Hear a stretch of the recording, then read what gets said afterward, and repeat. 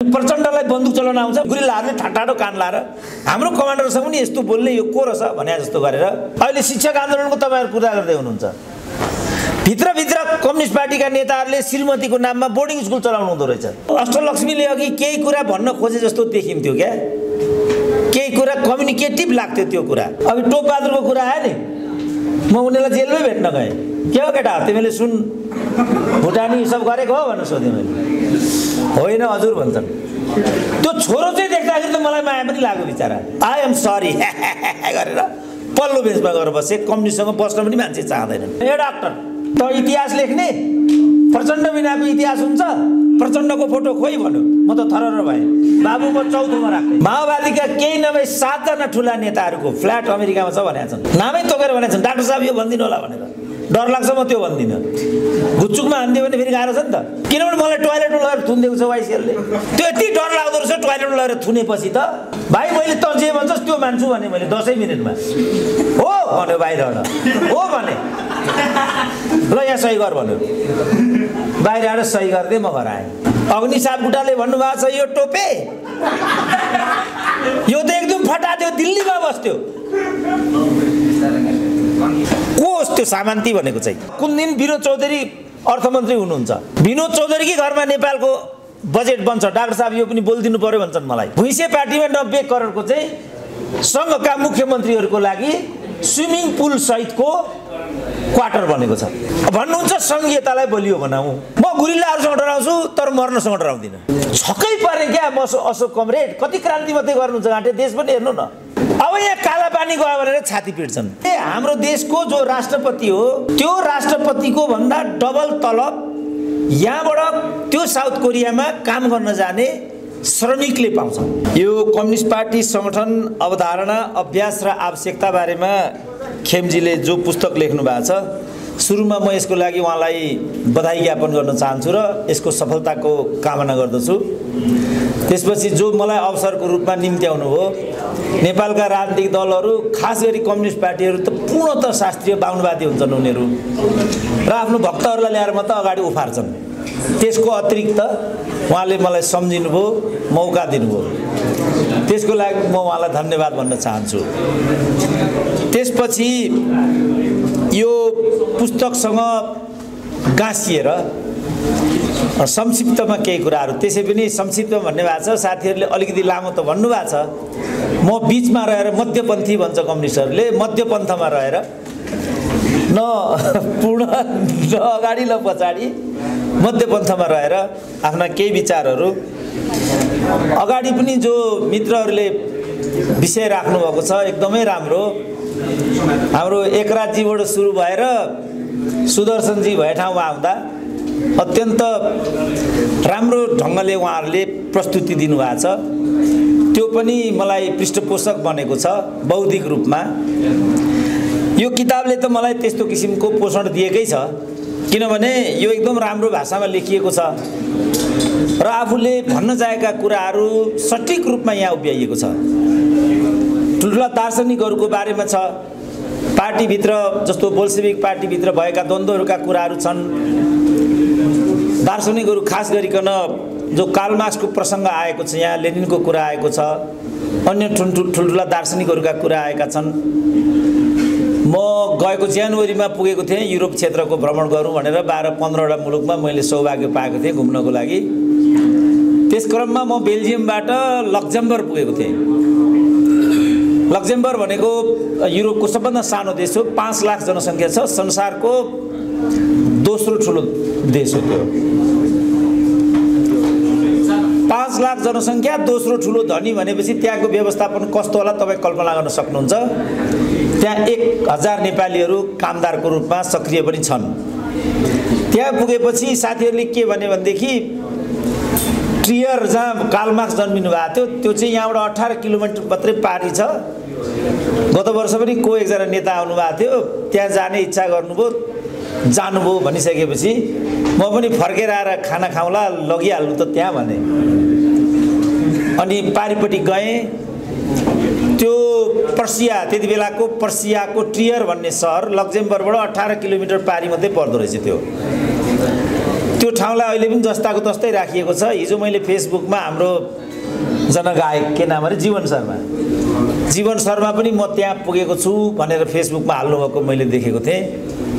अहिले पनि एउटा तीर्थस्थलको रूपमा ट्रियर छँदैछ कार्लमार्क्स हुँदै हुनुहुन्छ। लेनिनको योगदानलाई कसैले पनि इग्नोर गरेको छैन। आज पनि रस्सा त्यही लेनिनको देश हो रस्सा जहाँबाट समाजवाद प्रादुर्भाव भएको थियो आज पनि लडाइँमा छ त्यो।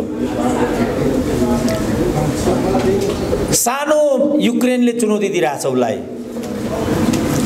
र युरोप कुन बेला तहस नहस हुने हो भन्न सकिँदैन। पछिल्लो कालमा गोर्बचेपको कालमा आउँदाखेरि रसामा पाउरोटी समेत लाइनमा लागेर खानुपर्छ भन्ने स्थिति छ भन्थे। त्यस्तो पाउरोटी पनि लाइनमा लागेर खाने देशलाई दस वर्षको अन्तरालमै पुटिनले कसरी त्यस्तो शक्तिशाली बनाए त्यो म कल्पना गर्न सक्दिनँ। दोस्रो विश्वयुद्धमा पाँच करोड मानिसहरू मरेका हुन्। त्यसमध्ये दुई करोड मानिसहरू रुसबाट हताहत भए। तिन करोड मानिसहरू त्यहाँ घाइते थिए। तर सोभियत सङ्घ ढलेन। आफ्नो प्रगतिलाई जारी राख्यो। त्यसको झन्डै तिस वर्षपछि चान्चुन चालिस वर्षपछि भनौँ न चालिस टु चालिस जोड्दाखेरि सोभियत सङ्घ ढल्यो। अब अहिले युक्रेनले चुनौती दिने स्थिति आयो। ठिक त्यसरी नै हामीहरू हाम्रो आँखाको अगाडि टिबेटका जनताहरू माग्ने रूपमा नेपाल छिर्थे। त्यो मैले नै देखेका थिएँ। तर अहिले हामीहरू भुटानसँग मा माग्ने भएका छौँ। अब यसको समाधान कसरी गर्ने? यहाँ विचार कहाँ हुन्छ? सङ्गठन कहाँ हुन्छ? कम्युनिस्ट पार्टीहरू कहाँ हुन्छन्? कम्युनिस्ट सङ्गठन कहाँ हुन्छ? कसरी सशक्त हुनुपर्छ भन्ने प्रश्न नै खेमजीले लेखेको किताबको अभिप्राय होला भन्ने मेरो बुझाइ छ। व्यक्तिगत रूपमा चाहिँ यो किताब पढ्दा मलाई ठुलो प्रसन्नता भएको छ। किनभने म कम्युनिस्ट आन्दोलनको भागचार लेख्दैछु। नेपालमा कतिवटा कम्युनिस्ट पार्टी छन् भनेर खुट्याउने जस्तो दुर्व काम अर्को कुनै होइन। हुन त उहाँले एक सौ सातवटा कम्युनिस्ट पार्टीको यहाँ नाम लिनुभएको छ। ती आजसम्म उत्पन्न भएका कम्युनिस्ट पार्टीहरूको सङ्ख्या होला भन्ने मैले बुझाएको छ। खुद कम्युनिस्ट पार्टीहरू पच्चिस छब्बिस सत्ताइसवटासम्म छन् कि? जस्तो मलाई लाग्छ। र यो फुट्ने क्रम जारी छ। खेमजीले चाहिँ यहाँ त्यो नारा लेख्नु भएन। होइन भने कम्युनिस्ट विचारसँग जोडिएका विचारकहरूको लेखाइको पहिलो लाइन चाहिँ विश्वभरका मजदुरहरू एक हौँ भनेर सुरु हुन्छ। भन्दा विश्वभरका कम्युनिस्टहरू एक हौँ भनेर भन्ने व्यवहार गर्दाखेरि विश्वमै सबैभन्दा सङ्गठनहरू हुने। भनेपछि त यो समस्या व्यक्तिमा हो कि दर्शनमा हो कि विचारमा हो कि सिद्धान्तमा हो कि अष्टलक्ष्मीजीले भने जस्तो अभ्यासमा हो कि कहाँ हो त? यो नै केन्द्रीय प्रश्न हो। योमा अलिकति म खेमजीसँग बहस गर्न चाहन्छु। किन यहाँ ठुल्ठुला नेताहरू पनि हुनुहुन्छ? शास्त्रीय रूपमा कम्युनिजम कतिको सम्भव छ? यो आजको अहम प्रश्न हो। शास्त्रीय भन्नाले जस्ताको तस्तै। मार्क्सले जे परिकल्पना गरेको थियो मार्क्सले परिकल्पना गरेको भन्दा पनि मार्क्सवादलाई हामीले जसरी प्रस्तुत गर्यौँ। किनभने मार्क्सवादमा काहीँ पनि कम्युनिजम सधैँभरि एकै प्रकारले जान्छ भनिएको छैन। This is not a dogma but line of action यो कहिले पनि समयअनुसार हुन्छ भनिएको छ। अहिले विज्ञान र प्रविधिको विकासले गर्दाखेरि मानवीय चिन्तन र व्यवहार अनि आचरणमा पनि ठुलो भिन्नता ल्याइदिइसकेको स्थिति छ। विज्ञान र प्रविधिको युग हो यो। मान्छे यहाँ फेसबुक नहेरिकन टोयलेट जान सक्दैन आजभोलि। धेरैको मोबाइलमै छातीमै मोबाइल रहन्छ भने जस्तो लाग्छ मलाई। म कम्युनिस्ट आन्दोलनको भागचार लेख्ने क्रममा आत्मवृत्तान्त पनि लेख्ने क्रममा दुई हजार पृष्ठका ती चिजहरू हुन्। त्यसको फाइनल गर्ने क्रममा थिए छ महिनादेखि ती सामग्रीहरू मेरो टेबलमा थिए। तर त्यही ठाडोले गर्दाखेरि म त्यहाँ जानै सकिनँ। जुरुको उठ्यो सबभन्दा पहिला त्यही समात्यो। त्यही खोलिहाल्यो। यो त नहुने रहेछ भनेर मैले चार दिन सङ्घर्ष गरिसकेपछि बल्ल बल्ल त्यो कुरालाई मैले जित्न सफल भएँ। आफ्नो काम थालेँ। एक दिन माओवादीकै कार्यकर्ता थिए साना भाइ सर कफी खाउँ भने पुतली सडकमा। म आएँ साढे आठ बजे। कफी पसल माथि उक्ल्यौँ। कस्तो नराम्रो भयो कि सुभाषजीको त भन्नुभयो उहाँले। के भएर सुभाषजीको भने मैले? किनभने त्यो हेर्न बन्द गरिदिइहालेँ। रेडियो सुनेको थिएन पत्रिका पढेको थिएन। तेह्र घन्टादेखि म सूचनाबाट वञ्चित थिएँ। है तपाईँले थाहा पाउनु भएन र भन्नुभयो। थाहा पाएन नि के भएर? सुभाष नेमाङ त बित्नु हो नि भन्नुभयो उहाँले। छाँगाड खसे जस्तो भएँ म। यो प्रकारले सूचनाहरू चाहिँ प्रभावित हुने परिपाटी छ। पढ्ने परिपाटी कमजोर भएको कुरा यहाँ प्रगतिशील पुस्तक पसलको साउजी सँग अघि अहिले मिलिक देखाउँदै सायद अब उठिसक्नुभयो होला उहाँ। खेमजीले यो किताब तिन छोडिदिनु भएको थियो। अनि यो के हो भन्नुभयो उहाँले? यो यस्तो खेमजीको किताब हो यो यसको भोलि कार्यक्रम छ भनिसकेपछि एउटा कुरा मेरो पनि आफ्नो तर्फबाट भनिदिनु होला है भन्नुभयो उहाँले। के हो भने मैले? उहाँले के भन्नुभयो भने म जस्ताको तस्तै भन्छु।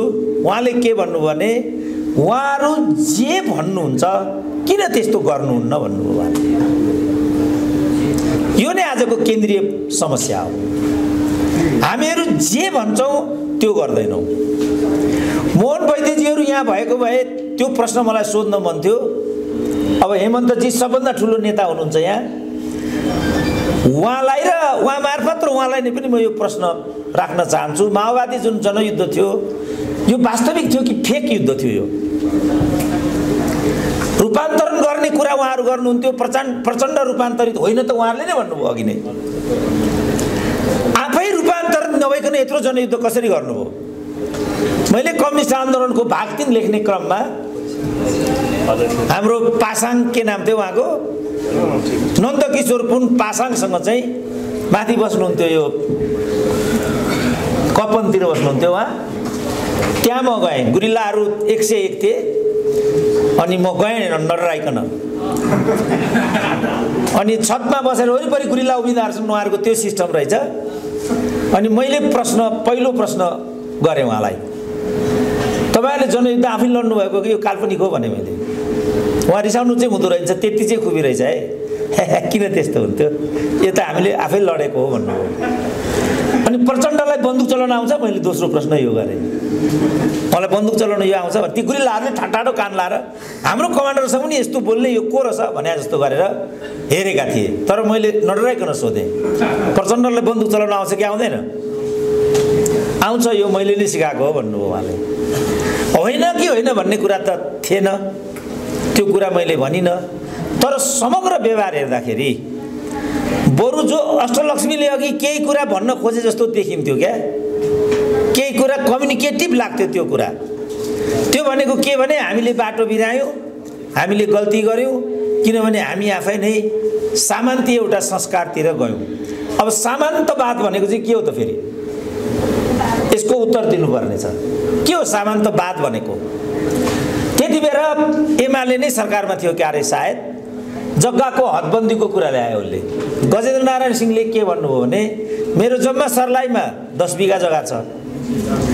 माधव कुमार नेपालले चढेको गाडी त्यो प्राडो नभए पनि पजेरो त पक्कै थियो।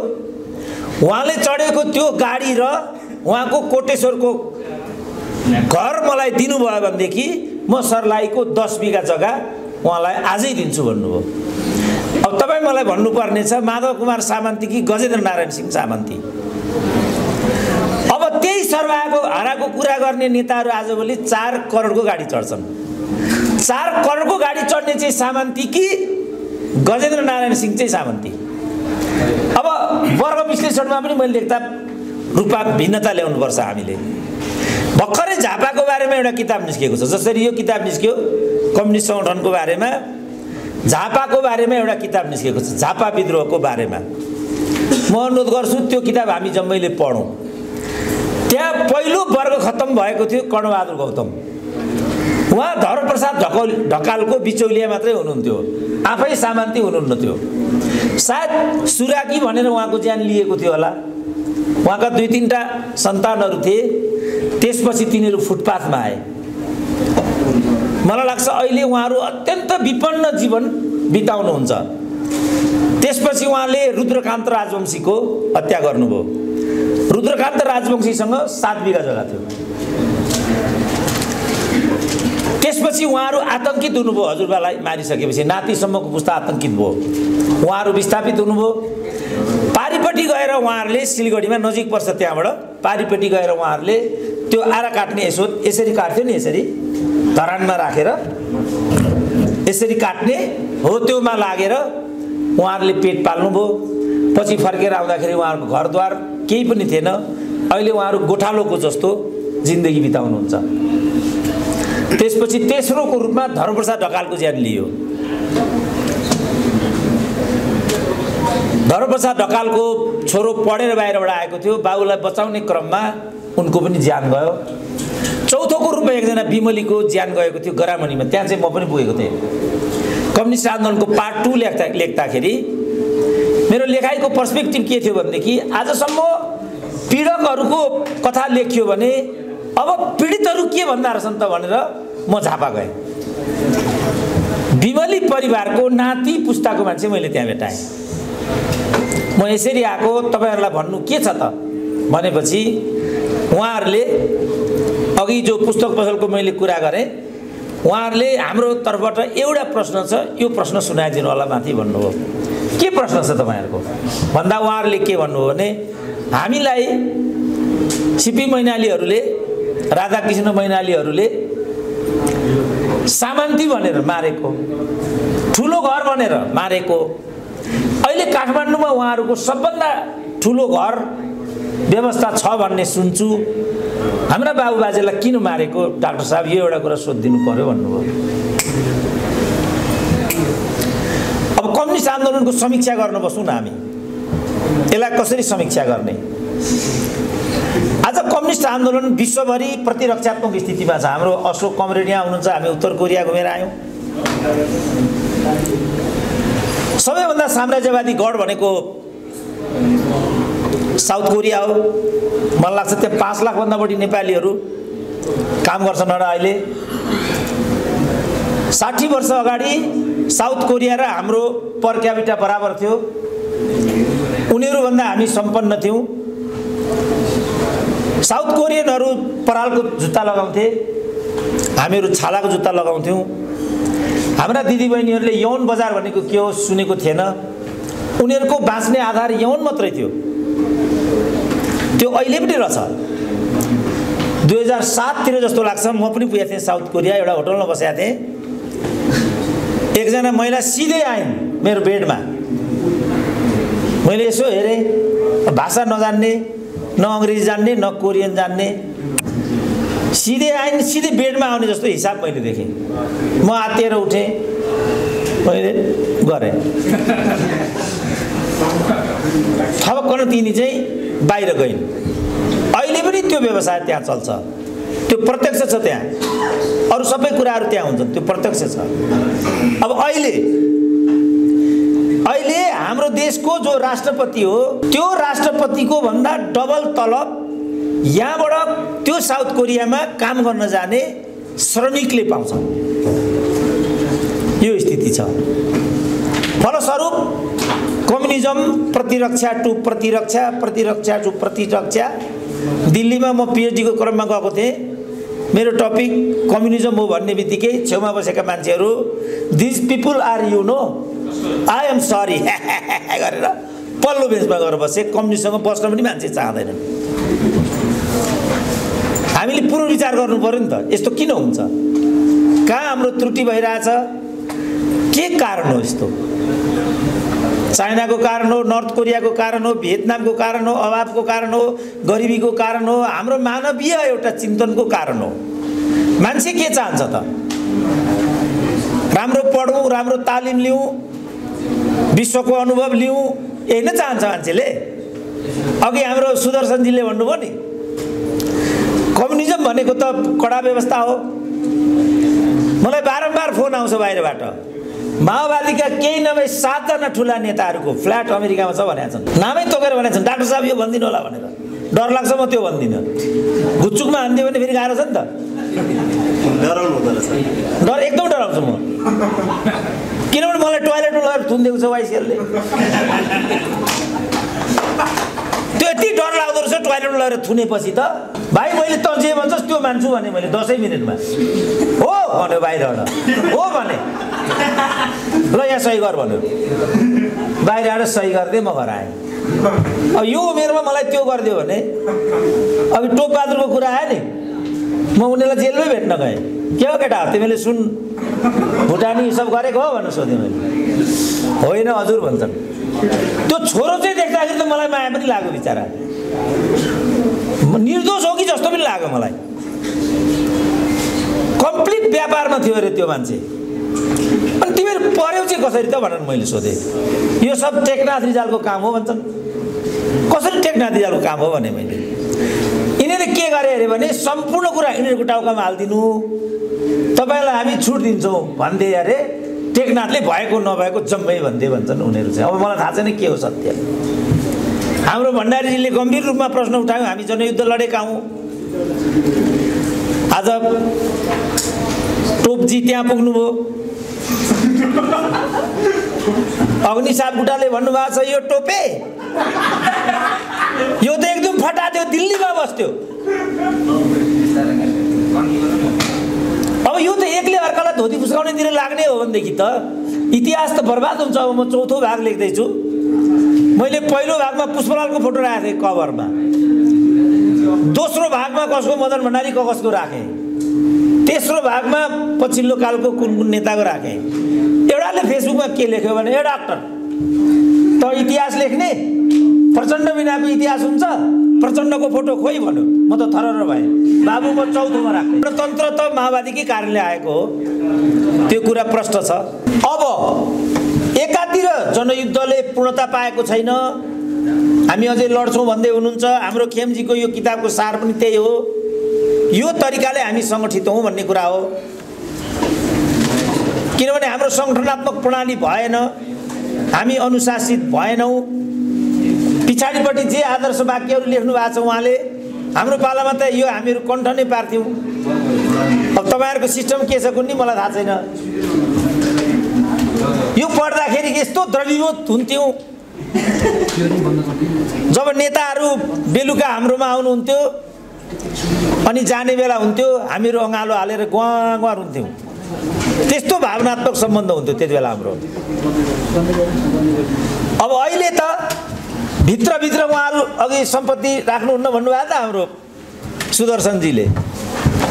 ओभरग्राउन्ड हुँदाखेरि त जम्मै माधव नेपाल पनि घडेरी रहेछ झलनाथको पनि घडेरी रहेछ अहिले शिक्षक आन्दोलनको तपाईँहरू कुरा गर्दै हुनुहुन्छ। भित्रभित्र कम्युनिस्ट पार्टीका नेताहरूले श्रीमतीको नाममा बोर्डिङ स्कुल चलाउनु हुँदो रहेछ। भित्रभित्र। त्यसपछि जब ओभरग्राउन्डको राजनीति सुरु भयो जो जोसँग आर्थिक थियो उहाँहरूले मात्रै अवसर पाउने मन्त्री हुने इत्यादि हुने यो भयो। जोसँग त्यो थिएन उहाँहरू मोहनचन्द्र अधिकारी हुनुभयो। अहिले मोहनचन्द्र अधिकारी यहाँ तपाईँ हिँडेको देख्नुभयो भने सबभन्दा पहिला बाबु एक कप चिया खुवाउनुहुन्छ कि भन्नुहुन्छ? यो अवस्था छ। अब कहाँ चुक्यौँ हाम्रो? हाम्रो गाडी कहाँ छुट्यो त? किन यस्तो भयो त? मैले बाहन्न सालमा पिएचडी गरेँ। त्यसको निष्कर्ष के थियो भने नेपालको कम्युनिस्ट आन्दोलन भनेको आधारभूत वर्गबाट उठेको वास्तविक कम्युनिस्ट आन्दोलन नभई टाठा बाठा बाम वाम मार्गी बौद्धिक वर्गको प्रतिक्रिया मात्रै हो भन्ने थियो। त्यो चाहिँ मेरो पिएचडीको कन्क्लुजन थियो। त्यसपछि माओवादीले झन्डा उठायो। माओवादीले झन्डा उठाइसकेपछि उसले सशस्त्र जत्था पनि गठन गर्यो र उसले आफ्नो शक्ति देखाउन थालिसकेपछि म आत्तिएँ त्यति बेर नेपाल पाक्षिकमा म स्तम्भ लेख्थेँ। विजय कुमार पाण्डेले के भन्नु भने तपाईँ डराउनु हुँदैन पर्दैन है। तपाईँको जे निष्कर्ष छ माओवादी जनयुद्ध भनेको पनि त्यही हो। तर तपाईँ अहिले आत्तिनु भयो जस्तो छ आत्तिनु पर्दैन भन्नुभयो उहाँले। तर म आत्तिसकेको थिएँ। किनभने जनसत्ता कायम भइसकेको थियो। गाउँ गाउँबाट सरकारी सत्ता विस्थापित भइसकेको थियो। खानकोटमै आएर साथीहरू ठोक्न थालिसकेका थिए। अब नआत्तिने कुरा थियो त। म आत्तिने जस्तो भयो समय बित्दै गयो। अब अहिले ठ्याक्कै हामीलाई प्राप्त भएको उपलब्धि चाहिँ के हो त भन्ने प्रश्न नै उत्तरको रूपमा यो किताबले खोजी गरेको विषय चाहिँ त्यो भन्ने लागिरहेछ मलाई। प्रशस्त आदर्श थियो प्रशस्त त्याग बलिदान भयो जसरी हिजोको अभ्यासमा त्याग बलिदान भएको थियो त्यसरी नै हामीले पनि त्याग बलिदान भयौँ गऱ्यौँ तर त्यो त्याग बलिदानको अर्थ आज भएन। अब हामी के गरौँ उहाँ त्यही भन्नुहुन्छ। मैले बुझेको त्यही हो। के गरौँ अब हामी? बागबजार टु दिल्ली बजार नित्य उहाँ एउटा अनुशासित सिपाही जस्तो उहाँ हिँड्नुहुन्थ्यो। म उहाँलाई तारन्तार देख्दै गर्दा गर्दै गिरफ्तार गरियो बिचमा उहाँलाई। फर्केर उहाँ आउने हो कि होइन भन्ने लागिरहन्थ्यो। के भएको नि आज फर्केर आउनुभयो उहाँ। त्यसपछि लगातार लेख्नेमा लाग्नुभयो। आज पनि हामी यो कार्यक्रम गर्दैछौँ। यो कोठा किन खाली भन्दा साथीहरू भन्नुहुन्छ सबै शिक्षक आन्दोलनमा ऐक्यबद्धता जनाउन जानुभएको तिसभन्दा बढी पक्राउ परिसके। गृहमन्त्री माओवादी छ सरकार माओवादी छ शिक्षकहरू मैदानमा छन् यसको उत्तर कसले दिने त अब? धरपकड छुटेको छैन। कार्यकर्ताहरूले दुःख पाउने छुट भएको छैन। अनि यसको दोष दोष फेरि सामान्तीलाई नै दिने। त्यो सामान्ती भन्ने कहाँ छ त? को त्यो सामान्ती भनेको चाहिँ?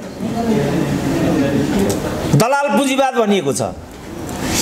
त्यो दलाल अब उहाँहरू अब कुन दिन विनोद चौधरी अर्थमन्त्री हुनुहुन्छ?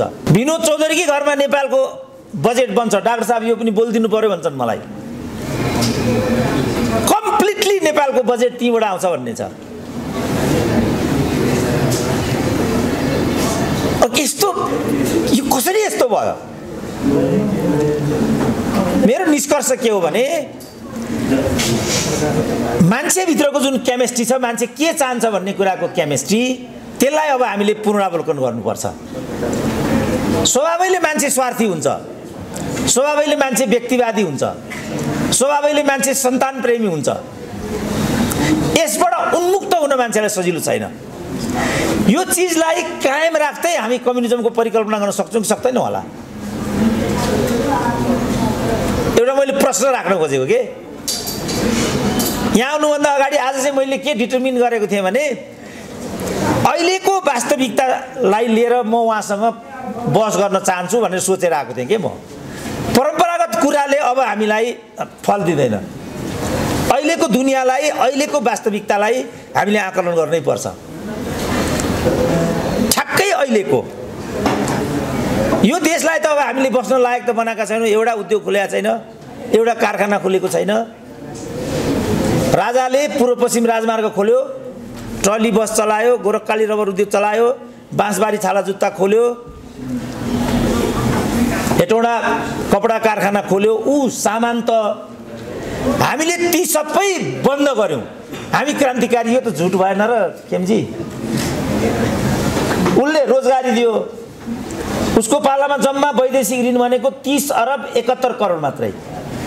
आज तेइस खरब छ हाम्रोमा ऋण आज। प्रत्येक नेपाली जन्मिँदै अस्सी हजारले ऋणी हुन्छ। छयालिस सालमा वैदेशिक रोजगारीमा जानेहरूको सङ्ख्या छ हजार थियो। आज त्यो सङ्ख्या सरकारी आँकडा अनुसार बाहन्न लाख छ। निजी क्षेत्रले अस्सी लाख भनेको छ। अघि मोहन वैद्यले भन्नुभयो यो सङ्ख्या एक करोड छ भनेर। मलाई यो चाहिँ सत्य हो जस्तो लाग्छ। तिन करोडमा एक करोड नेपालीहरू बाहिर छन्। अनि कसरी हामी चाहिँ क्रान्तिकारी? कसरी हामी युगान्तकारी त? यो त झुट भएन र भने। रिभिजिट गर्नै पर्छ क्या हामीले अब। किनभने त्यो तिस अरब एकहत्तर करोड अन्तर्गत पूर्व पश्चिम राजमार्ग बन्यो। कोदारी राजमार्ग बन्यो। सिद्धार्थ राजमार्ग बन्यो। मेची राजमार्ग बन्यो। बन्यो नि त। त्यो भित्र यो छब्बिस तेइस खरब अन्तर्गत के के बन्यो ल भन्नु त। एउटा चाहिँ मध्य पहाडी लो लोकमार्ग बनेको रहेछ त्यो चाहिँ मैले माने। किनभने म पोहोर जुम्ला गएको थिएँ। जुम्ला टु दैलेख जाजरकोट हुँदै त्यही बाटो आएर यो चाहिँ अब अहिले पूर्वसम्म जोड्यो यो चाहिँ एसेट हो ठोस रूपमा बनेको हो। तर आज पच माने पचहत्तरवटा जिल्लामा जिल्ला अदालत जिल्ला अस्पताल बनाएको थियो नि त राजाले? चौधवटा अञ्चलमा अञ्चल अस्पताल बनाएको थियो। अब अहिले सङ्घीयता ल्यायौँ भनेर साथीहरू गौरव गर्नुहुन्छ। भुइँसे पार्टीमा नब्बे करोडको चाहिँ सङ्घका मुख्यमन्त्रीहरूको लागि स्विमिङ पुल सहितको क्वार्टर बनेको छ। भन्नुहुन्छ सङ्घीयतालाई बलियो बनाऊ तर सङ्घीयता जन्मजात बदनाम छ। यो त मैले त झुट हो यो ठगी हो यो। म चाहिँ कोदारी राजमार्ग भिजिट गर्न गएँ। तपाईँहरू कति पुग्नु भएको छ कोदारी राजमार्ग कति हेर्नु भएको छ अहिलेको? अशोकजीले त हेर्नु भएको छ कि? नेपालको सबैभन्दा गए गुज्रेको सडकको रूपमा त्यो छ। कम्युनिस्टको सडक भनेर नबनाएको त्यो। सामान्ती राजाले कम्युनिस्ट चाइनासँग लिङ्क गर्ने अनि क्रान्तिकारी कम्युनिस्ट सरकारले चाहिँ त्यहाँको बाटै नबनाउने भनेपछि को हो सामान्ती भने तपाईँहरूमध्ये कतिजना हुम्ला जानुभएको छ? कम्युनिस्ट जानुभएको छ? हुम्ला जानुभएको छैन होला।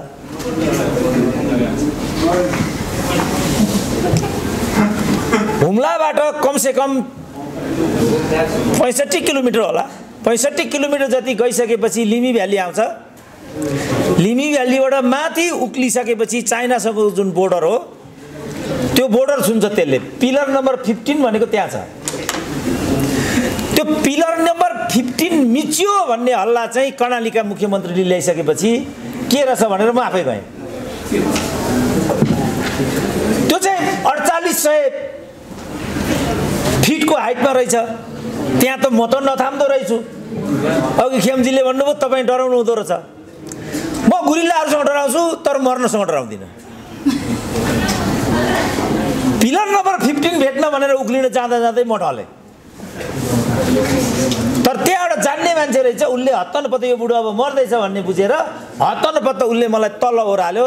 त्यसो भएको हुनाले म बचेँ। मैले यहाँ भन्न खोजेको कुरा चाहिँ के भने सिमकोटबाट पच्चिस किलोमिटर अगाडि बढिसकेपछि नेपाल सरकारको उपस्थिति भनेको कहीँ पनि छैन। मलाई अचम्म लाग्यो गाँठे कुनै सुरक्षा व्यवस्था नभइकन पनि कुनै देशको सार्वभौमिकता सुरक्षित हुँदो रहेछ। कुनै देशको सिमाना छक्कै पर्ने क्या म अशोक कमरेड। कति क्रान्ति मात्रै गर्नुहुन्छ घाँटे देश पनि हेर्नु न। अब यहाँ काला पानी गयो भनेर छाती पिट्छन्। जुन बेला काला पानी गयो त्यो बेला किन यो हस्तक्षेप भन्नु पर्दैन? भनिएन। अर्कोले आएर सैनिक क्याम्प राख्यो राखेको राखै भयो। र एकचोटि सुस्ता जानुहोस् त के छ स्थिति? नारायणी पारी छ सुस्ता। नाउमा जानुपर्छ। उता जाँदा अठाइस मिनट लाग्छ। उताबाट आउँदाखेरि पच्चिस मिनट लाग्छ। एक डल्लो साबन किन्नु पर्यो भने पनि सिमाना पारी जानुपर्छ। त्यहाँका मान्छे के भन्थे भने सुस्ताको सिमाना हाम्रो अहिले जहाँ सिमाना छ हाम्रो त्यहाँभन्दा सात किलोमिटर पर रामपुरुवा भन्ने चाहिँ हाम्रो सिमाना हो भन्थे। अहिले सात किलोमिटर यता करिब करिब तेइस सय बिघा जग्गा होला त्यसको समस्या नै सुस्ताको समस्या हो। त्यो घुमेर आएपछि म देव गुरुङलाई भेट्न गएँ उहाँ कानुन मन्त्री हुनुहुन्थ्यो। देवजी सुस्ताको समस्या यो रहेछ सल्टाइदिनु पर्यो। देवजी के भन्नुहुन्छ? केसीजी यो सुस्ता भन्ने कहाँ पर्छ? छक्क परेँ म त। उहाँहरू भन्नुहुन्छ हामी जनयुद्ध लडेर आयौँ। म यो सब कुरा मान्दिनँ। यो काहीँ न काहीँ फटाइ छ। यो फटाइलाई पनि हामीले करेक्सन गर्नुपर्छ र बाँकी कामलाई चाहिँ सम्पन्न गराउनुपर्छ। खेमजीको किताबले अपेक्षा गरेको कम्युनिस्ट पार्टी सङ्गठनको अवधारणा अभ्यास र आवश्यकता त्यतातिर लक्षित होला भन्ने मलाई लाग्छ। फेरि एकपल्ट अवसर दिएकोमा धन्यवाद भन्न चाहन्छु। सुन्ने प्रक्रिया अवरुद्ध भएको थियो तैपनि तपाईँहरूले मेरो चाहिँ विचार सुनिदिनु भयो कार्यक्रममा गएपछि साथी हो सुनिदिनुपर्छ। त्यसलाई सम्भव हुन्छ भने अपनाउनु पर्छ हामीले पनि त्यसलाई अपनाउन लायक बनाउनु पर्छ हाम्रो पनि कमजोरी छ। कार्यक्रम छुट्याउनुपर्छ कि व्यवस्थित गर्नुपर्छ कि? त्यो सुझावसहित फेरि एकपल्ट उहाँको किताबको सफलता र यसको लेखनको लागि बधाई अवसरको लागि कृतज्ञता ज्ञापन गरेर बिदा लिन्छु। गल्ती भएको भए क्षमा चाहन्छु। नमस्ते। धन्यवाद। उद्घोषकज्यू आजको यो सङ्गठन सम्बन्धी पुस्तकको सार्वजनिकीकरण कार्यक्रमका अध्यक्ष अ,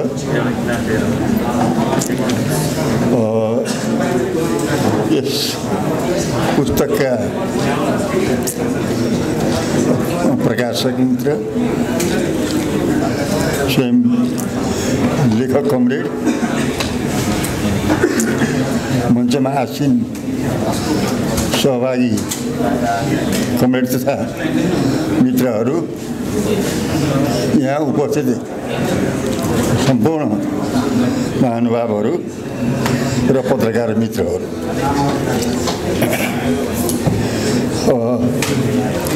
सबभन्दा पहिले त यो कम्युनिस्ट पार्टी सङ्गठन भन्ने जुन पुस्तक खेमराज थपलियाले लेख्नुभयो म लेखकलाई विशेष धन्यवाद दिन चाहन्छु। प्रकाशक पनि स्वत धन्यवादकै पात्र हुनुहुन्छ। यो पुस्तकमा धेरै धेरै विषयहरू समेटिएका छन्। सबैको व्याख्या विश्लेषण गर्न अहिले सम्भव छैन। अरू मित्रहरू कमरेडहरूले अ, यसको बारेमा विशेष रूपमा चर्चा गर्नुहुनेछ। र लेखककै बारेमा कुरा गर्नुपर्दा उहाँ साहित्यकार पनि हो समालोचक पनि हो नाटककार पनि हो। र यो साहित्यिक क्षेत्रमा भन्नुपर्दा हो सैद्धान्तिक राजनीतिक रूपले यस क्षेत्रको सिद्धान्तलाई पनि उहाँले माथि उठाउनु भएको छ भन्ने लाग्छ र पहिलो कुरा त उहाँले यो पुस्तकको अन्तर्राष्ट्रिय क्षेत्रका सङ्गठन सम्बन्धी दार्शनिकहरू सिद्धान्तकारहरूका बारेमा खास गरेर पार्टी सङ्गठनसँग सम्बन्धित थुप्रै कम्युनिस्ट सिद्धान्तका गुरु भनौँ उहाँदेखि लिएर अ, मार्क्सदेखि लिएर नेपालको कम्युनिस्ट आन्दोलनका नेता अ, पुष्पलालसम्मका विचारहरूलाई भनाइहरूलाई एउटा संश्लेषित रूपमा राख्ने प्रयास गर्नुभएको छ। र यी भनाइले सङ्गठनको क्षेत्रमा कसरी काम गर्ने भन्ने बारेमा एउटा मार्गदर्शन गर्छन् भन्ने लाग्छ। दोस्रो यो पार्टी सङ्गठन निर्माण र परिचालनका सन्दर्भमा विभिन्न देशका क्रान्तिसँग सम्बन्धित अनुभव र त्योसँग सम्बन्धित नेतृत्वका भनाइहरूलाई संश्लेषित गरिएको छ। ती अनुभवहरूबाट अब शिक्षा लिन जरुरी छ। र तेस्रोमा नयाँ ढङ्गको पार्टी सङ्गठन कसरी बनाउने कसरी निर्मित हुँदै आइरहेको भनेर त्यो चिन्ताको साथ विश्लेषण गर्ने कुरा गरिएको छ। र उपसंहारमा आउँदाखेरि सायद निष्कर्ष हो र प्रयोग र परिणामका सम्बन्धमा यहाँ विवेचना गरिएको छ र विषयवस्तुलाई राम्रोसँग बुझ्नुको निम्ति विभिन्न पार्टीका नेपालका कम्युनिस्ट पार्टीहरूका समेत सांगठनिक मान्यतालाई यहाँ समावेश गरिएको छ।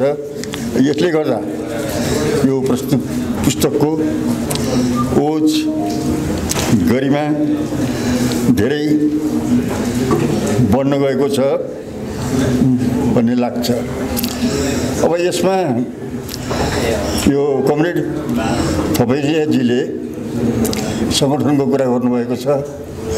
यो वास्तवमा भन्यो भनेदेखि सङ्गठनको धेरै महत्त्व छ। र सङ्गठनको काम के हो भने एउटा रूपान्तरण गर्ने काम हो। रूपान्तरण गर्ने शक्ति हो। पुराना पुराना युगहरूमा सत्ययुग द्वापर युग त्रेतायुगहरूमा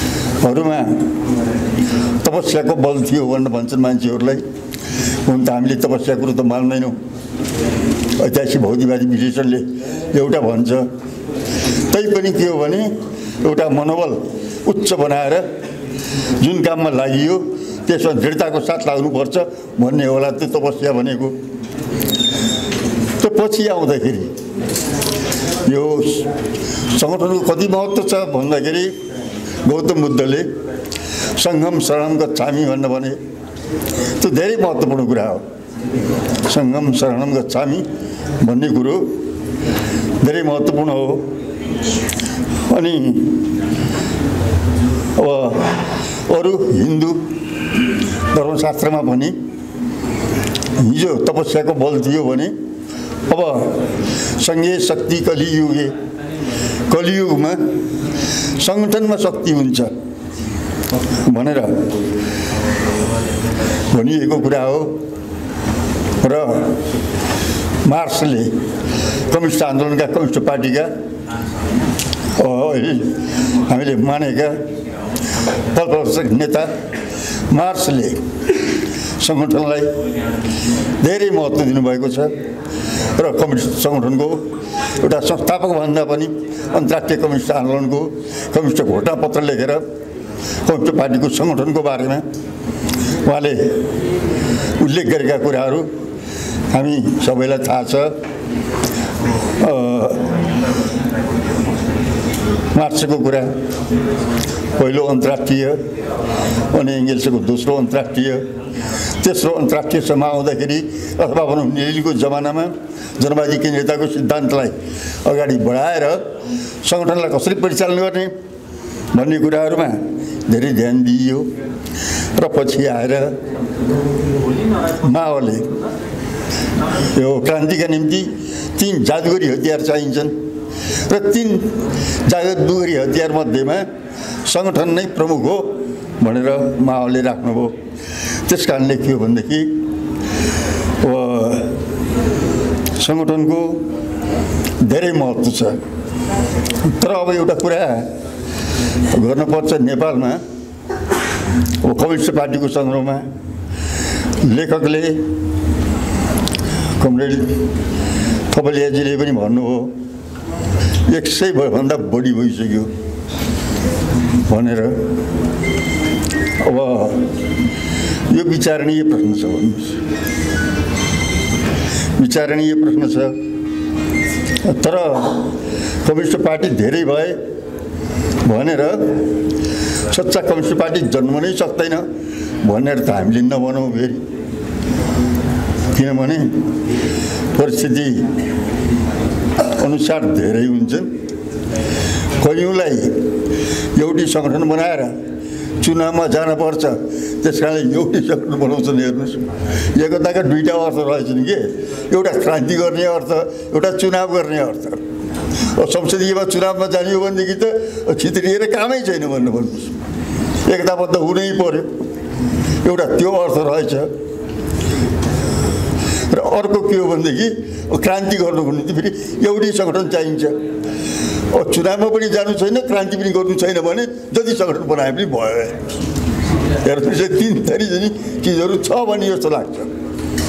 एक थरी चुनावको निम्ति एउटै सङ्गठन चाहियो दोस्रो क्रान्तिको निम्ति एउटै सङ्गठन चाहियो। अर्को कुरा चुनावमा पनि जानु छैन क्रान्ति पनि गर्नु छैन जति सङ्गठन बनाए भयो के अर्थ हो त्यसको। त्यस कारण हामी चाहिँ नि यो अब धेरै सङ्गठन भयो भनेर अब आत्तिनु त नपर्ला। आत्तिनु हुँदैन जस्तो लाग्छ। तैपनि के हो भनेदेखि कमिटीले बताउनु भए अनुसार एउटा दुःखद कुरा त हो भन्नुहोस्। त परिवर्तनको कुरा गर्दाखेरि नेपालमा अहिलेसम्म आउँदाखेरि जे जति परिवर्तन भएका छन् ती परिवर्तनको प्रश्नमा कम्युनिस्टहरूको अहम भूमिका छ। हेर्नु पछिल्लो कालमा हौँ दस वर्षको जनयुद्ध। हुन त जनयुद्धलाई धेरै मान्छेले सब सरापेको पनि छन् हेर्नुहोस्। त्यो पनि सुनेको छु सबै थाहा छ होइन? तर जुन एउटा परिवर्तन आएको छ अहिले त्यो परिवर्तन त अरूभन्दा सबभन्दा के हो भनेदेखि दस वर्षको जनयुद्धले हो। मानौँ या नमानौँ? होइन त्यो अलग कुरा हो। मान्ने या नमान्ने कुरा त्यो अलग कुरा हो भनेर भन्नुहोस्। तर दस वर्षको जन जनयुद्धको र विभिन्न जनआन्दोलन पनि भनौँ। विभिन्न जनआन्दोलन जनसङ्घर्ष कम्युनिस्ट पार्टीको मात्रै पनि कुरा नगरौँ। सबै सबैको जोडबलले र मुख्यतः दस वर्षीय जनयुद्धको जोडबलले अब यहाँसम्म आउँदाखेरि अब धेरै परिवर्तन भएको छ तर गुणात्मक परिवर्तन भने भएको छैन भन्नु गुणात्मक परिवर्तन भएको छैन यो साँचो कुरा हो त अब के गर्ने त भन्ने कुरा आउँछ अब के गर्ने त भन्दाखेरि अब लेखकले पनि भन्नुभएको छ रूपान्तरण हो अब रूपान्तरणको प्रक्रियामा जानुपर्छ भन्नुभएको छ अब त्यो ठिक हो भन्नुहोस्। हामी रूपान्तरणको प्रक्रियामा जानुपर्छ। अहिले देशको समाजको कुरा गर्दाखेरि भइहाल्छ भनेर भन्नुहोस्। अब संसदीय व्यवस्था संसदीय लोकतन्त्र संसदीय गणतन्त्र यो नेपाली जनतालाई अहिलेको स्थितिमा अत्यन्तै निराश बनाउने अत्यन्तै गरिब बनाउने नेपाली जनताका इच्छा आकाङ्क्षा भावनाहरूलाई अत्यन्तै कुल्चने काममा यो सत्ता र व्यवस्थाको भूमिका त भूमिका भनौँ ठुलै भूमिका भयो भन्नुहोस् नकारात्मक काम गर्ने कुराहरूमा ठुलै भूमिका भएको छ। अब चुनाव गऱ्यो पाँच पाँच वर्षमा भोट नहालेर पनि भएन। एउटालाई हाल्नु पऱ्यो भोट हालेर के गर्नुहुन्छ? भोट हालेर के गर्ने भोट हालेर के फाइदा छ भन्नुहोस् त। अब चुनावमा उठ्ने कमिटीले जिताए पनि उही हो। हेर्नुहोस् कङ्ग्रेसलाई जिताए पनि उही हो। अरू केही छैन। गर्ने त्यही हो। यदि गर्ने त्यही हो भने अब तपाईँको चाहिँ यो यो दुनियाँभरको चाहिँ चुनावको लेटा गर्ने काम लाग्यो यस्तो खालको चुनावको जनता वाक्क दिक्क भइसकेका छन् जनताले रूपान्तरण खोजिरहेका छन् यो अवस्थामा अब कस्तो रूपान्तरण गर्ने प्रश्न छ भन्नुहोस् अब कतिपय कतिपयले अब पुरानै खालकोमा जाउँ अब भन्ने खालको कुराहरू पनि आइरहेका छन् भनेर भन्नुहोस् पुरानै ठिक छ अब पुरानो पनि हामीले देखेकै हो। पुरानो पनि हामीले बिहोरेकै हो भनेर भन्नुहोस् अब नयाँ कुरा गर्ने हो भने अब यो कस्तो भयो भन्नुहुन्छ भने अहिलेका संसदीय व्यवस्थाहरूको बारेमा संसदवादी दलहरू जहाँ कम्युनिस्टहरू छन् अब ती कम्युनिस्टहरूलाई लिएर यी कम्युनिस्टहरूले पनि केही गर्नु सक्नेवाला होइनन् भनेर।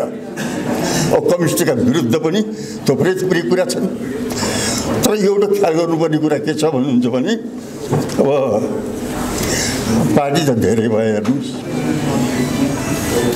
म त के भन्छु भने अब यी चाहिँ संसदवादी पार्टी कम्युनिस्ट पार्टी होइन नै। बेकारमा नाम कम्युनिस्ट पार्टी राखेको छ। त्यो पार्टी किन राख्नु पऱ्यो भने कि? मैले त कहिलेकै त्यही हेर्नुहोस्।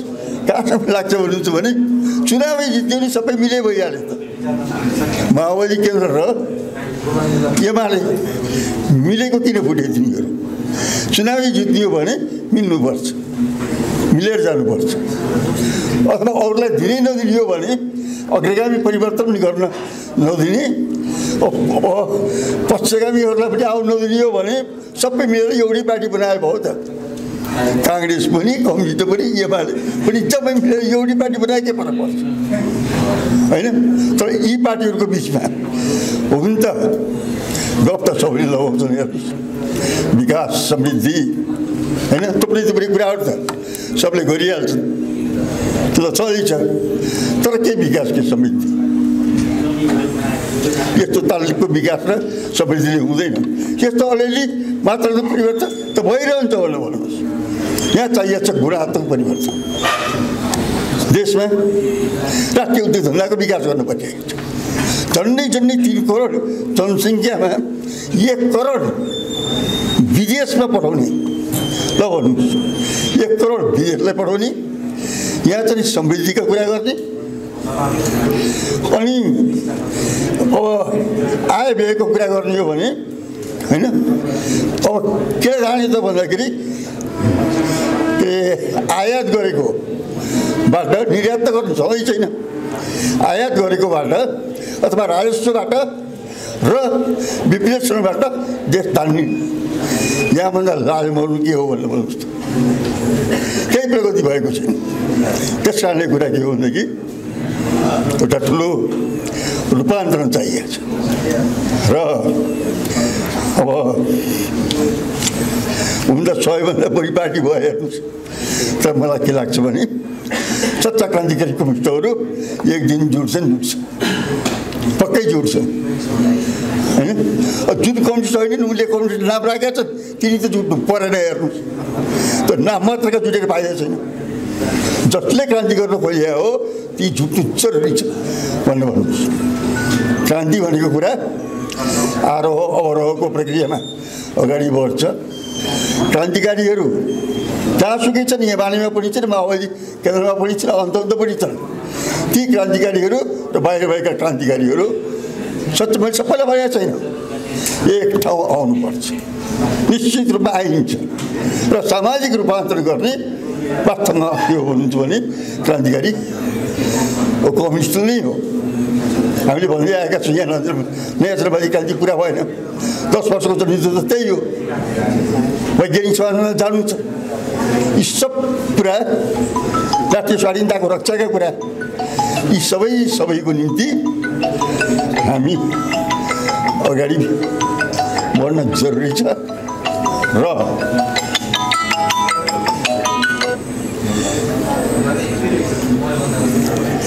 यो प्रक्रियामा यो जुन पुस्तक कमिटीले लेख्नुभयो गहिरो तरिकाले अध्ययन गरेर संश्लेषण गरेर हामीले आफ्ना कमी कमजोरी छन् हामीले आफ्ना कमी कमजोरीहरूलाई सच्याएर अगाडि बढ्न सक्यौँ भने हामीले धेरै गर्न सक्छौँ हामी निराश होइन हामी आशावादले ओतप्रोत हुन जरुरी छ हामी एउटा दृढ साहस र सङ्कल्पले समृद्ध हुन जरुरी छ र दुनियाँमा नेपालमा पनि परिवर्तन गर्ने कम्युनिस्ट बाहेक आजको जमानामा कोही छ दुनियाँ बुझ्ने मात्रै होइन बदल्ने हो त्यो बदल्ने विचारधारा कम्युनिस्ट विचारधारा हो। यस अर्थमा कमिटीले लेखेको जुन पुस्तक छ त्यसको निम्ति कमिटीलाई धेरै धेरै धन्यवाद दिँदै हामी निराश नहौँ साहसको साथ अघि बढौँ यति भन्दै मैले आफ्ना केही भने यहीँ सकेँ लाल दाजुभाइ दिदीबहिनीहरू दिदीबहिनी त त्यति देखाएको छैन र कमरेडहरू सबैमा पत्रकार साथीहरू सबैमा हार्दिक अभिवादन नमस्कार आज अत्यन्तै यो महत्त्वपूर्ण कार्यक्रम पुस्तक सार्वजनिक कम्युनिस्ट पार्टी र सङ्गठन। यो आफैमा पनि महत्त्वपूर्ण पुस्तक हो। त्यसैले सबभन्दा पहिले म लेखक खेम कमरेडलाई धेरै धेरै धन्यवाद दिन चाहन्छु। र उहाँले यस्तो पुस्तकहरू लेख्दै पनि गर्नुहोस् भनेर म शुभकामना पनि व्यक्त गर्न चाहन्छु। यति बेला पुस्तक लेखनमा पनि अलि अभाव अभाव खड्किराखेको बेलामा यो नौलो पुस्तक आएको छ।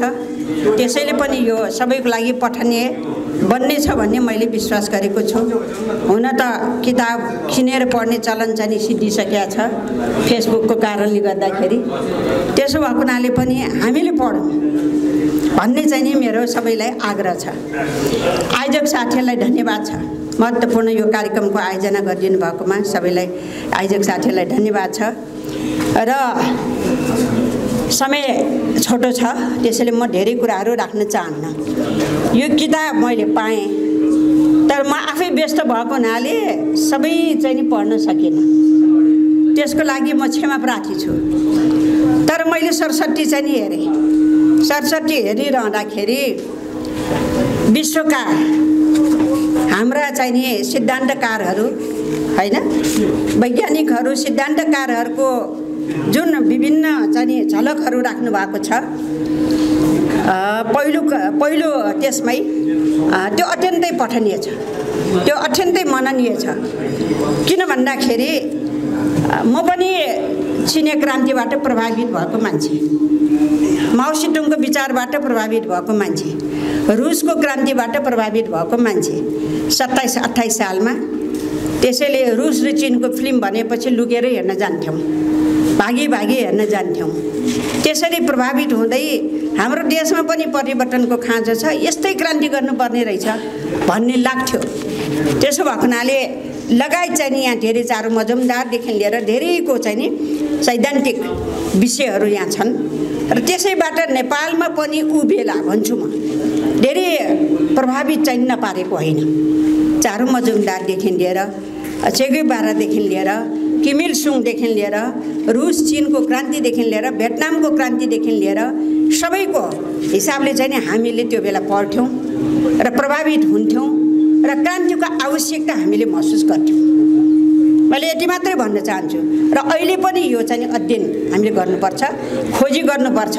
यसको चाहिँ नि हामीले अलिकति विश्लेषणात्मक ढङ्गले अध्ययन गरेर अहिलेको स्थितिमा कसरी हामीलाई यसले चाहिँ हामीले चाहिँ अनुसरण गर्ने त प्रेरणा लिने त भन्ने कुराहरू पनि सोच्न जरुरी छ। एक नम्बर। दोस्रो भनेको चाहिँ नि पुष्पलालको बारेमा। हामीले पुष्पलाललाई अझै गहिराइको साथ पढ्न चाहिँ अझै भ्या छैन कि मनन गर्न भ्या छैन कि भन्ने मलाई लाग्दछ। पुष्पलाल छ सालमा कम्युनिस्ट पार्टी स्थापना गरिसकेपछि पुष्पलालले अघि सारेको घोषणापत्रदेखि लिएर विश्व कम्युनिस्ट आन्दोलनको घोषणापत्र सँगसँगै नेपालको घोषणापत्र अघि सारेपछि पुष्पलालले संयुक्त जनआन्दोलनको अवधारणाहरू तिन सका चाहिँ सिद्धान्तका कुराहरूदेखि लिएर धेरै कुराहरू अगाडि सार्नुभयो। नेपाललाई चाहिँ कसरी मुक्त गर्ने भन्ने कुराहरू गरेर यसरी अगाडि सार्नुभयो। र अब बिचबिचको कुरा धेरै नगरौँ। अनेकौँ टिक्का टिप्पणी नकारात्मक धारणाहरू पनि विकास भयो। तर जे भए पनि पुष्पलाल हाम्रो आदरणीय व्यक्तित्व कम्युनिस्ट पार्टीको संस्थापक हो र त्यसबाट हामीले प्रेरित हुँदै अगाडि बढ्नु जरुरी छ अहिलेको आवश्यकता छ भन्ने मलाई लाग्दछ। अब मैले अलिकति चाहिँ नि के भन्न खोजेको छु भन्दाखेरि यो सङ्गठनात्मक क्षेत्रको कुराहरू गरिरहँदाखेरि उहाँले धेरै महत्त्वपूर्ण कुराहरू उठाउनु भएको छ। कम्युनिस्ट पार्टीमै किन लाग्ने? हिजो किन लाग्यो? आज पनि कम्युनिस्ट पार्टीमा किन लाग्ने? यो अत्यन्तै मनन योग्य कुरा छ भन्छु म। धेरै पार्टीहरू हिजो त एउटा दुईवटा पार्टी हुन्थ्यो। त्यसमा पनि कम्युनिस्ट पार्टीको प्रभाव नेपालमा राम्रो थियो। प्रगतिशील विचारधाराबाट धेरै प्रभावित थियो। त्यसो भएको हुनाले कम्युनिस्ट पार्टीमा लाग्नुपर्छ भन्ने थियो र यसरी लागिन्थ्यो। आज खुल्ला परिवेश आइसकेर पनि कम्युनिस्ट पार्टीको अझै चाहिँ नि मलाई लाग्छ राम्रो प्रभाव छ। त्यसो भएको किन कम्युनिस्ट पार्टीमा हिजो लाग्यो आज किन लाग्ने भन्ने कुराहरू हामीले सबभन्दा पहिले यसको लक्ष्य उद्देश्य यसको आवश्यकता के हो भन्ने कुराहरू बुझ्न जरुरी छ। मलाई लाग्छ ऊ बेला म आफै कम्युनिस्ट पार्टीमा लागिरहँदाखेरि सर्वहारा वर्गको मुक्तिको कुरा वर्गीय समाजको वर्गविहीन समाजको चाहिँ नि निर्माणको कुरा शोषण दमन र उत्पीडनबाट जनतालाई मुक्ति दिने कुरा र समाजवाद हुँदै साम्यवादको लक्ष्य प्राप्त गर्ने कुरा। भन्न खोजेको चाहिँ नि एउटा खुसी नेपाली बनाउने हो समृद्धि देश स्वाभिमान चाहिँ नेपाली बनाउने हो राष्ट्रियतालाई बलियो बनाउने कुरा हो। यसरी हामीले कम्युनिस्ट पार्टीमा लागेको मलाई अनुभव छ। यसरी काम कम्युनिस्ट पार्टीमा लागेको तर आज आज यो परिवर्तन जुन चाहिँ नि अब एकात्मक शासन व्यवस्था छैन निरङ्कुश शासन व्यवस्था छैन अहिले चाहिँ यो एकतन्त्रीय शासन व्यवस्था छैन हामी सङ्घीय लोकतान्त्रिक गणतन्त्रमा छौँ। र ठुलो राजनीतिक हिसाबले परिवर्तन भयो। यसमा चाहिँ अघि हाम्रो मन वैदिक किरण आदरणीय कमरेड भन्छु म उहाँलाई म राम्रै म मान्दछु। उहाँले भन्नुभयो कम्तीमा पनि अब चाहिँ नि किन चाहियो त? किन अगाडि बढ्ने? कसरी अगाडि बढ्ने भन्ने कुराहरू एकदमै महत्त्वपूर्ण कुरा हो। त्यस भएको हुनाले चाहिँ अहिलेको कम्युनिस्ट अहिले पनि कम्युनिस्ट सिद्धान्त आवश्यक छ कम्युनिस्ट विचार आवश्यक छ र कम्युनिस्ट सिद्धान्त र विचारबाट हामी लैस हुनैपर्छ किन यो विज्ञान पनि हो वैज्ञानिक विचार पनि हो।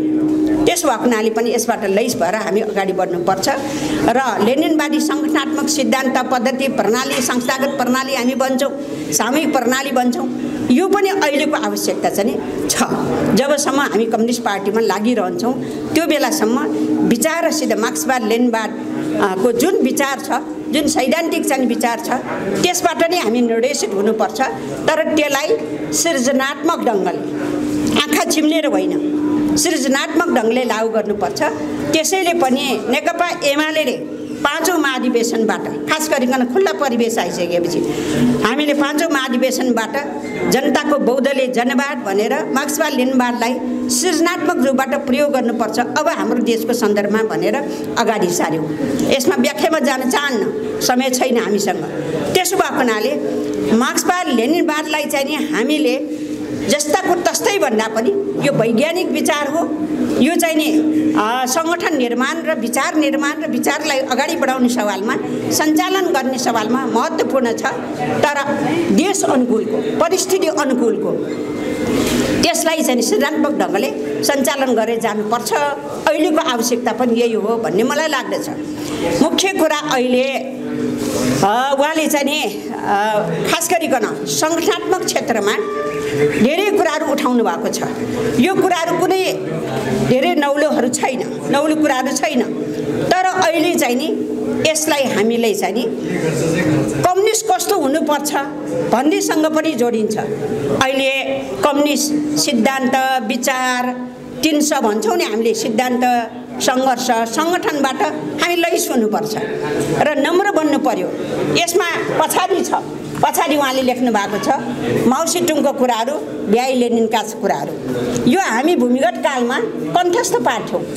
कण्ठस्थ पारेर जनताको बिचमा जाँदाखेरि यसलाई एक एक अक्षर पालना गरेर हामी लागेका थियौँ। मलाई लाग्छ सशस्त्र दण्डको बेलामा अलि परिस्थिति बेग्लै थियो सशस्त्र दण्ड थियो परिस्थिति बेग्लै थियो। त्यसैले यही कुरालाई मानेर जानको लागि त अलिक कठिनाइ थियो होला। तर हाम्रो परिवेश भनेको हामी भूमिगत हुँदाखेरिको परिवेश भनेको बेग्लै थियो। त्यसैले हामीले यो सिद्धान्तलाई यो विधिलाई मान्थ्यौँ। र मलाई लाग्छ अहिले पनि यो विधि जरुरी छ। यो अनुशासित हुने कुरा नैतिकवान हुने कुरा चरित्रवान हुने कुरा अत्यन्तै जरुरी कुरा हो।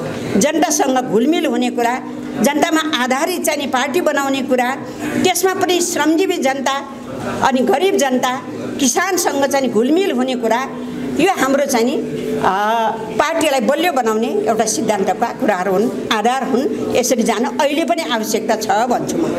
त्यसो हुनाले अहिले खुला परिवेश आइसकेपछि अघि भन्नुभयो नि बलिदानको मूल्य चुकाउनु भयो बलिदान गर्नुभयो। छयालिस सालको कुरा गरौँ बासठी त्रिसठी सालको शान्तिपूर्ण जनक्रान्ति भन्छौँ हामी। त्यसको कुरा गरौँ धेरै बलिदान भएको छ। अनि सशस्त्र युद्धमा पनि धेरै बलिदान भएको छ। तर आज बलिदानको मूल्य चाहिँ नि वास्तवमा अब हामी मिलेर यसको चाहिँ नि के हो त किन बलिदान गर्नुभयो? र अब कसरी चाहिँ नि बलिदानबाट जुन चाहिँ परिवारहरू प्राति प्रताडित भइरहेका छन् उहाँलाई कसरी सम्मान दिन सकिन्छ? भन्ने कुराहरू सोच्न जरुरी छ। अहिले यो विषय पनि महत्त्वपूर्ण छ भन्ने मलाई लाग्दछ। र उहाँले चाहिँ जुन ढङ्गले चाहिँ मैले यहाँ टिपेको छु सबै कुराहरू। मैले अघि पनि भने धेरै महत्त्वपूर्ण विषयहरू उठाउनु भएको छ। नैतिकताको कुरादेखि लिएर अनुशासनको कुरादेखि लिएर धेरै कुराहरू उठाउनु भएको छ। तर मलाई चाहिँ अहिले छलफलको विषय के बन्न जरुरी छ भन्दाखेरि पहिलो कुरा त हामी सिद्धान्त र व्यवहारलाई कसरी गाँच्ने भन्ने कुराहरू छलफलको विषय बनाउनु जरुरी छ। सिद्धान्तका ठुला व्याख्या गर्छौँ हामी। तर आफ्नो अनुकूल चाहिँ नि अरूलाई चाहिँ व्याख्याता गर्छौँ। र व्यवहारमा लागू गर्नु पर्दाखेरि हामी शून्यमा चढ्छौँ। त्यसैले सिद्धान्त र विचारलाई जोड्ने काम अहिले पनि नभएको हुनाले कथा कथा पार्टीभित्र समस्याहरू देखा परेको छ। दोस्रो भनेको उहाँले उठाउनु भएको कुरा एकदमै महत्त्वपूर्ण छ। अन्तर्विरोधलाई सही सञ्चालन। हामी त आत्मालोचित हुनुपर्ने आलोचनादेखि नडराउनु पर्ने कम्युनिस्टहरू भनेको त्यो हो नि त। तर हामी आलोचना पनि भाग्छौँ आत्मालोचित त गर्नै सक्दैनौँ। अनि गुट उपगुट सिर्जना गरेर अन्तर्विरोध सिर्जना सिर्जना गर्छौँ। त्यो अन्तर्विरोधलाई सही सञ्चालन सही व्यवस्थापन अहिलेको आवश्यकता हो भन्छु म। किन भन्दाखेरि अहिले त फराकिलो धेरैभन्दा धेरैलाई गोलबन्द गर्नुपर्छ। धेरैभन्दा धेरैलाई चाहिँ चाहिँ क्रान्तिमा भन्दा पनि परिवर्तनमा समाज रूपान्तरणमा आर्थिक सामाजिक सांस्कृतिक रूपान्तरणमा लगाउनु पर्ने बेला छ। समृद्धि देश बनाउनुको लागि। अनि तर चाहिँ के त भन्दाखेरि अहिले अन्तर्विरोधलाई हामी सही ढङ्गले सही व्यवस्थापन सञ्चालन गर्न सकिराखेको छैन। त्यसैले सबै पार्टीमा अलि द्वन्द द्वन्द अप्ठ्यारोहरू निस्किएको देख्छु म। मैले एक दुईवटा कुरा मात्रै उहाँको महत्त्वपूर्ण कुराहरू गरेको। शैलीको कुराहरू हामी सामन्तीवादी व्यवस्था अन्त्य गरिसक्यौँ। तर हामीसँग हाम्रो बोली हाम्रो व्य- व्यवहार हाम्रो सोच हाम्रो चाहिँ नि सबै कुराहरू चाहिँ नि अहिले पनि सामन्ती अवशेषबाट लैस र हामी आफूलाई रूपान्तरित गर्न सकेको छैन। व्यवस्था नयाँ आयो। तर हामी यथास्थितिमै छौँ। हिजोकै निरङ्कुशतामा धङधङ्टे छौँ सामन्ती चरित्रै बोकेका छौँ। त्यसले गर्दाखेरि जनतालाई अपच भइराखेको छ। जनताको बारेमा हामीले सोच्नै भ्याइराखेको छैन। आफ्नै बारेमा चाहिँ बढी चाहिँ आफ्नो चाहिँ नि हितैषीको बारेमा बढी सोच्ने कामहरू भइराखेको छ। त्यसो भएको हुनाले कतै जनताहरू चाहिँ पार्टीबाट ओझेलमा परिराखेको त छैन। भन्ने कुराहरू पनि सोच्न जरुरी छ भन्ने मलाई लाग्दछ। उहाँले नयाँ विषय उठाउनु भएको छ पर्यावरण। अहिले हामीले यो नयाँ परिवेशमा आइसकेपछि महामारीबाट हामीले झेल्यौँ। अब अहिले विश्व नै चाहिँ एउटा पर्यावरणको विभिन्न महारोग महारोगहरू फैलिराखेको अवस्था छ। त्यसैले यसबाट जनतालाई बचाउने कसरी भन्ने कुराहरू पनि अब यो विषयवस्तु पनि नौलो विषय होइन यो आवश्यकताको विषय हो। छलफल गरेर जानु जरुरी छ भन्ने लाग्दछ मलाई। अब वैकल्पिक नेतृत्व तयार गर्ने कुराहरू। वैकल्पिक नेतृत्व तयार गर्ने कुराहरू एकदमै जरुरी छ। अब हामी नेतृत्व परिवर्तन गर्ने र आफ्नो चाहिँ नि जिम्मेवारीलाई हस्तान्तरण गर्ने क्रमशः युवा पुस्तालाई उत्साहित गर्ने अगाडि बढाउने कुरामा फेरि पनि हामी फराकिलो हुन सकेको छैन। र हामी यथास्थानमा छौँ। त्यसले गर्दाखेरि युवा पुस्ताहरूमा अलिक मनो अलिक चाहिँ मनस्थिति चाहिँ कमजोर भएको चाहिँ मैले महसुस गरेको छु। त्यसो भएको वैकल्पिक नेतृत्व तगा तयार गर्ने पुस्ता हस्तान्तरण गर्ने कुरा साह्रै महत्त्वपूर्ण छ। अब युवाहरूलाई चाहिँ हामीले साथ लिएर जान सक्नुपर्छ अवसर दिनुपर्छ जिम्मेवारी दिनुपर्छ भन्ने कुराहरू पनि उठाउनु भएको छ। र यो कुरा साह्रै महत्त्वपूर्ण कुरा छ भन्ने चाहिँ मलाई लाग्दछ। धेरै कुराहरू छन्। त्यसैले यो धेरै कुराहरूमा चाहिँ नि अहिले सबै कुराहरू राख्न चाहन्न। मुख्य कुरा कम्युनिस्ट पार्टीभित्र कम्युनिस्ट पार्टीभित्र कामको मूल्याङ्कन छैन। कार्यकर्ताहरूको पङ्क्तिले मेहनत गर्यो दुःख गर्यो काम गर्यो त्यसको स्याबासी छैन। र के त छ त भन्दाखेरि कम्युनिस्ट पार्टीभित्र मूल्याङ्कनको परिपाटी अब नयाँ नयाँ नयाँ सङ्गठन निर्माण गरेर अगाडि बढिरहँदाखेरि नयाँ ढङ्गले परिचालन गर्ने गर्दाखेरि कामको मूल्याङ्कन मूल्याङ्कनको आधार चाहिँ नि तयार गरेर जानुपर्छ। अहिलेसम्म मलाई थाहा छैन कुनै पनि कम्युनिस्ट पार्टीमा छ भने। यो चाहिँ एकदमै अभाव चाहिँ खड्केको छ। योजनाबद्ध ढङ्गले काम गर्ने कुराहरू। योजनाबद्ध ढङ्गले काम गर्ने कुराहरूमा पनि समस्या छ। मैले यो किन उठाएको भन्दाखेरि अहिले हामी सामन्त्य अवशेषमा छौँ भन्छौँ। त्यो सामन्त्य अवशेष के के हो त भनेर मैले छलफल गरेको थाहा छ अब सामन्त्य अवशेषबाट हामी मुक्त हुने कसरी? नेतृत्व मुक्त हुने कसरी हामी मुक्त हुने कसरी भन्ने कुराहरू यो छलफलको विषय बनौँ दलाल पुँजीवाद चाहिँ विस्थापित गर्ने राष्ट्रिय पुँजी निर्माण गर्ने भन्यौँ। कसरी गर्ने त? यो विषयवस्तु चाहिँ नि हामीले छलफल गर्दैनौँ। हामी संहितामा छौँ। संहितालाई कसरी सुदृढ र व्यवस्थित बनाउने यो पनि हामी चाहिँ नि छलफलको विषय व्यापक बनिराखेको छैन। यस्ता थुप्रै कुराहरू छन्। हामीले छलफल गरेर नयाँ ढङ्गले नयाँ नेपाल समृद्धि नेपाल खुसी नेपाली सुखी नेपाली र भ्रष्टाचार मुक्त नेपाल भन्छु। म बनाउनुको लागि अब नयाँ ढङ्गले नयाँ सोचका साथ अगाडि बढ्नुपर्छ भन्ने मलाई लाग्दछ। अन्तमा उहाँले एउटा जनसङ्गठनको कुरा उठाउनु भयो अँ, खेमजीले। मलाई के लाग्यो भन्दाखेरि नि जनसङ्गठन आवश्यकता नभएको होइन। जनसङ्गठनलाई सञ्चालन गर्ने विधिमा समस्या छ। ठाडै चाहिँ नि पार्टीले जनसङ्गठनलाई चलाउने काम अब बन्द गर्नुपर्छ। तेर्सो नेतृत्व। ठाडो नेतृत्व होइन। पार्टी कमिटीभित्र ठाडो नेतृत्व होला। तर जनसङ्गठनभित्र तेर्सो नेतृत्व गरेर स्वतन्त्र ढङ्गले दिशानिर्दिष्ट गर्ने तर जनसङ्गठनको युवाको काम के विद्यार्थीको काम महिलाको काम के विभिन्न पत्रकारहरूको क्षेत्रको काम के सबै खालकोलाई चाहिँ एउटा स्पष्ट दृष्टिकोण दिएर ठाडो तेर्सो नेतृत्व चला चलाउनुपर्छ आवश्यकता छ। त्यो ढङ्गले परिचालित गर्नुपर्छ भन्ने मलाई लाग्दछ। अब संसदीय राजनीतिको कुरा गर्दाखेरि संसदभित्र मेरो आफ्नो धारणा के भन्दाखेरि अब मैले छट्याएँ है किन मैले सँगै पनि हेर्दैछु गइरहेँ जस्तो छ। संसदभित्र मेरो अब मा मेरो मान्यता खुल्ला परिवेशमा आइसकेपछि त्यागको राजनीति समाप्त भइसकेपछि सुविधाको राजनीतिमा हामी प्रवेश गरिसकेपछि अब संसद कसरी चलाउनु पर्छ जस्तो लाग्छ भन्दाखेरि प्रतिपक्ष भनेपछि विरोधी मात्रै गर्नुपर्छ सत्ता पक्षले चाहिँ प्रतिपक्षलाई निषेध मात्रै गर्ने। यो दुइटै गलत हो। त्यसो भएको हुनाले हामीले त देश निर्माणमा छौँ नि त। अब त व्यवस्था परिवर्तन होइन नि त। देश निर्माणमा छौँ। खुसी नेपाली बनाउनु पर्ने राष्ट्रियतालाई बलियो बनाउँदै। त्यसो भएको हुनाले संसदमा प्रतिपक्षको पनि सकारात्मक भूमिका सत्ता पक्षको पनि प्रतिपक्षलाई हेर्ने दृष्टिकोण प्रष्ट हुनुपर्छ र सकारात्मक भूमिकाका साथ योजनाबद्ध ढङ्गले मिलेर काम गऱ्यो भने छिटो हाम्रो देश समृद्धिको बाटोमा पुग्छ। समाजवादको लक्ष्य जुन अहिले भनेका छौँ हामीले यो साझा पनि हो है। यो कसैको बे एउटा पार्टीको होइन। त्यसो हुनाले गणतन्त्र साझा संहिता साझा समाजवाद साझा अझै अगाडि बढ्नुपर्छ। त्यसो भएको हुनाले यो ढङ्गले जाँदाखेरि हामी ठिक ठाउँमा पुग्छौँ भन्ने मलाई लाग्दछ। अन्तमा उहाँले एकदमै चाहिँ मलाई त कस्तो लाग्यो भन्दाखेरि एक सय साठवटा कम्युनिस्ट पार्टी नेपालमा हेर्नुहोस्। एक सय साठवटा कम्युनिस्ट पार्टी काङ्ग्रेस पार्टी एउटा भए पुग्छ। त्यहीभित्र अन्तर्विरोध हुन्छ त्यहीभित्र समाधान हुन्छ त्यहीभित्र छलफल गर्छ त्यहीभित्र व्यवस्थापन गर्छ। मन अब कति खुलस्त गर्न सक्यो थाहा छैन। तर जे होस् धेरै कम काङ्ग्रेस पार्टी चाहिएन। तर कम्युनिस्टहरू कम्युनिस्ट सिद्धान्त विचार र विधिमा चल्ने कम्युनिस्ट पार्टीहरू वैज्ञानिक विचार राख्ने कम्युनिस्ट पार्टीहरू अलिकति मल नमिल्ने बित्तिकै मन भाँचिहाल्यो।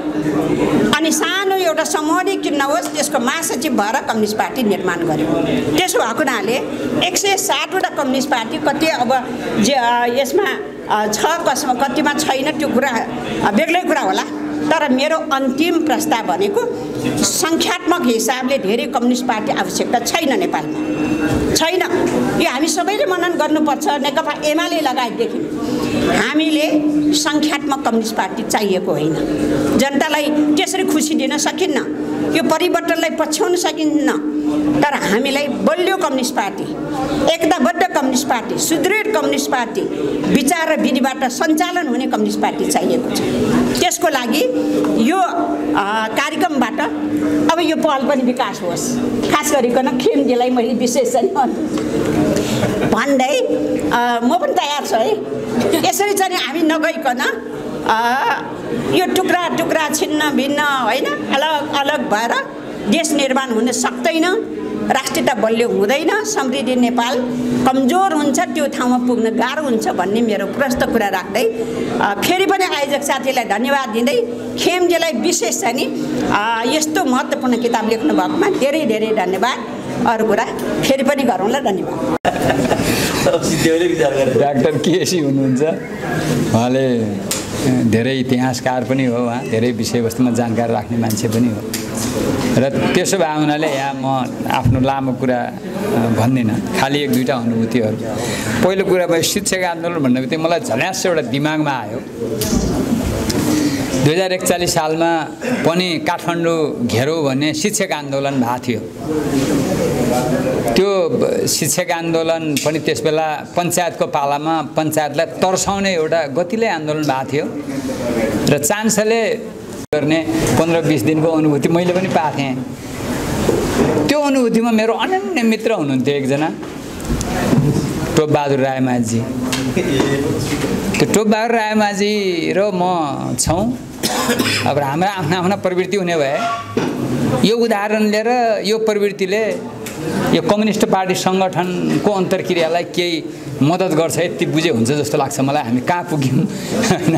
त्यस बेलाका त्यस बेलामा त्यो छिडीमा सँगसँगै बसेका योद्धाहरू को कता पुग्यौँ को कता पुग्यौँ भन्ने सम्बन्धमा यो कम्युनिस्ट पार्टी सङ्गठनको लामो समयदेखिको समीक्षामा त्यो पनि एउटा पर्ने भावनाले मैले त्यसलाई योभन्दा बढी भनिनँ। खालि शिक्षक आन्दोलन र मेरो अनुभूतिलाई मात्रै मैले निवेदन गरेको हुँ। दोस्रो विषय अहिले अब यो पुस्तकमा यो पुस्तक मैले सबै त पढिनँ तर एकदम सास नफेरिकन पढ्ने मान्छे हुँ पढ्न थालेपछि मैले पढ्न चाहेँ। किनभने खेमजीले थुप्रै किताब लेख्नु भएको छ उहाँका धेरै किताबहरू मैले पढेको पनि छु। र यो पुस्तक मैले पढ्न पाएन। तर भर्खर भर्खर अस्ति पाएँ। तर पनि मलाई आफ्नो अरू पनि कारणले गर्दाखेरि मैले सबै पढ्न पाइनँ। तर पढ्ने जस्तो छ म जस्ता छिपछिपे ज्ञान भएका मान्छेले त झनै पढ्ने जस्तो किन? छोटोमा धेरै विषयवस्तुहरू यसमा छोटोमा ज्ञान हुने पुस्तक छ यसमा। यसमा दार्शनिक सिद्धान्तका सिद्धान्तकारका बारेमा उहाँले सत्रजना दार्शनिकहरू सिद्धान्तकारहरू थिङ्करहरू उहाँको थटका बारेमा छोटो परिचय दिनुभएको छ। त्यो अत्यन्त पढ्न लायक छ।